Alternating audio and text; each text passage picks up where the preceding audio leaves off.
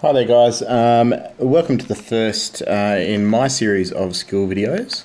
Um, in this one, we'll be demonstrating an airway assessment and the positioning of a patient for uh, airway management. So, why do we perform an airway assessment?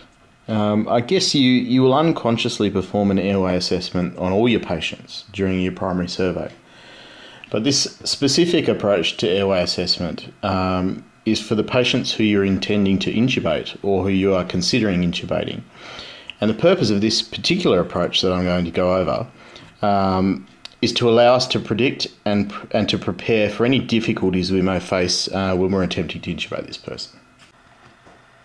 It also allows us to uh, gauge the likelihood of failing our intubation and it can help us to determine whether um, intubation can be safely attempted in the pre hospital environment or whether it should be delayed into the patients in, in the safety of a hospital. So we'll be using the Lemon tool um, to facilitate our airway assessment. Um, and briefly, this involves looking at the head and the neck, um, as well as the, the patient generally, for any perceivable impediments to intubation or ventilation. Um, we'll be eva- evaluating the ana- anatomical dimensions of the mouth, the oropharynx, and the larynx using the 332 rule, which we'll go over.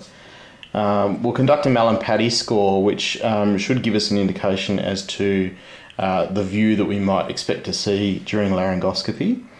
Um, determining the presence of obstructions, um, any physical obstructions to the airway, and assessing the mobility of the neck, which will um, determine whether the intubator is able to manipulate that neck to get a, a better view during laryngoscopy.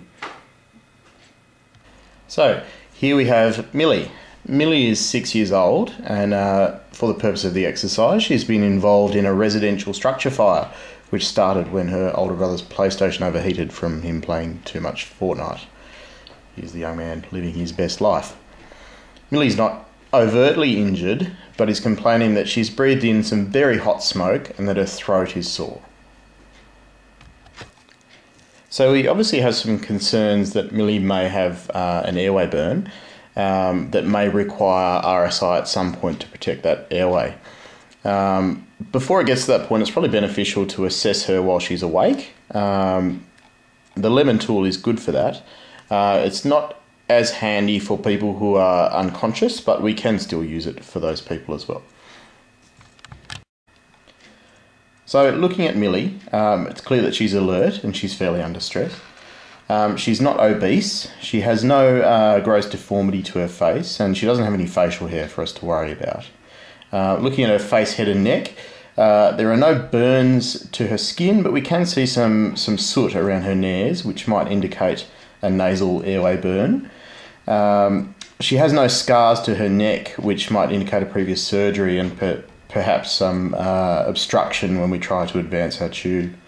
Um, given her age at six years old, it's very likely that she'll have some wobbly teeth as the incisors tend to drop at, at that age. From the side, we'll look at the occiput uh, and the angle of the neck. This is particularly important in younger kids, um, not so much in the older ones, um, but it will give you an indication with older people um, whether the neck is kyphotic.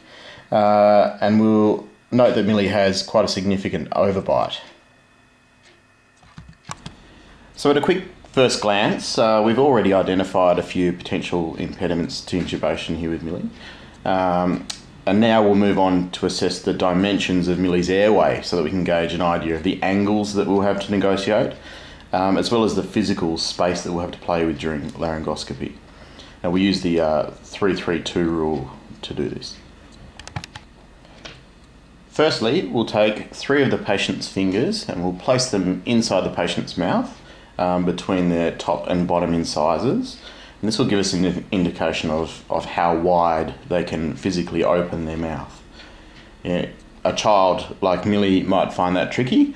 Um, we might choose to reference from our own fingers, um, or with someone who is unconscious, we might just make a visual assessment Secondly, we'll measure from the tip of Millie's chin, or the mentum, to the hyoid bone.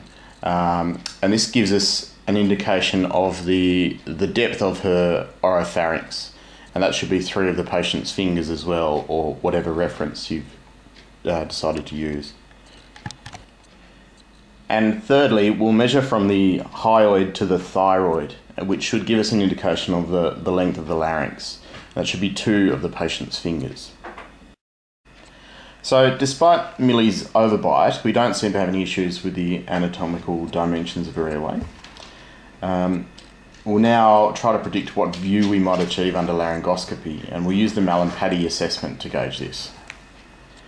The Mallampati assessment is performed with the patient sitting upright. Um, their mouth is open and their tongue is protruded. The, uh, the view is graded from 1 to 4, 1 being the best, and it's based on the structures that are visible just with a light. Um, obviously, the better the Mallampati score, so the, the better the grade, the, the better the predicted view during laryngoscopy. So in Millie's case, uh, she briefly displayed a grade 1 Mallampati, but the majority of the time her view was either grade 3 or grade 4 as, as she was more relaxed. At this point, it's also worth um, adding a test of mandibular protrusion or jaw protrusion. Um, as this uh, combined with the Mallampati score and the presence of snoring um, when patients sleeping um, can give you a, quite a good indication of the difficulty that you might have with bag valve mask ventilation. And here we see Millie uh, still has an overbite even though she's fully protruding her mandible. And I happen to know from personal experience that she snores as well. So she may present a bit of a challenge uh, just with bag valve um, ventilation alone. Next, we'll assess the airway for any obstruction. Um, in Millie's case, we're concerned about an airway burn, so auscultating for stridor uh, is probably the most appropriate way. In an unconscious patient, um, you might again check for vomitus uh, around the mouth or in the mouth and suction that as needed. The final part of our airway assessment is to check the mobility of the patient's neck, um, and we do this so that we can get an idea of how well we're going to be able to manipulate that patient during laryngoscopy. Uh, we can either do that by getting the patient to move their head up and down or side to side if you choose, or if they're unconscious, we can manually manipulate their, their neck ourselves. That completes our lemon airway assessment, and we've actually identified a, a number of issues um, which may cause us some concern when we're attempting to intubate Millie. Um, probably the biggest one being the difficulty that we might find in using the bag valve mask. Um, but since we're aware of that, we can prepare and we can be ready for, for that should it eventuate. All right, despite the issues that we've identified during our lemon assessment, we've decided that we can't wait and we're going to have to intubate Millie. Uh, so we're now going to move on with looking at how we can position her in order to maximise our chance of success on our first attempt at intubation. Successful intubation is best achieved with good visualisation and the best way to optimize your visualization is by positioning your patient in such a way that best aligns their three airway axes. Um, those being the axis of the mouth, the pharyngeal axis, and the laryngeal axis. We want to bring those axes as close to alignment as we possibly can. We can see that when someone's placed supine on a bed or on a hard surface, that their three airway axes don't line up very well um, and they require some degree of head lift and head tilt to sort of bring those axes closer together. We achieve that by um, lifting the patient's head up into a sniffing position and um, potentially ramping the patient if that's required. We can see here that the first step in this process is to raise up Millie's head and to pack out underneath with, um, with pillows, blankets, whatever you have at hand. Uh, so that we raise her, um, her ear up to the level of her sternum.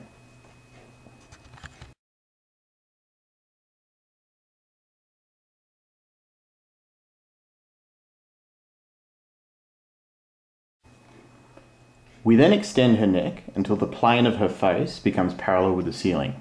And we call this the sniffing position.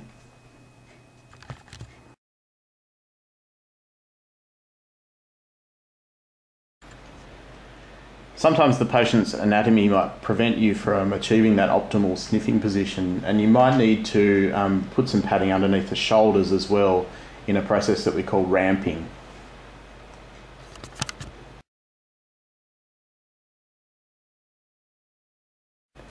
And while it's good to practice one method and master that, we also have to remember that all patients are different, and what works for one may not work for another. And we see here that Millie uh, when she's positioned in a ramped position, gives us uh, fair, far better alignment of our three airway axes. So this works for her.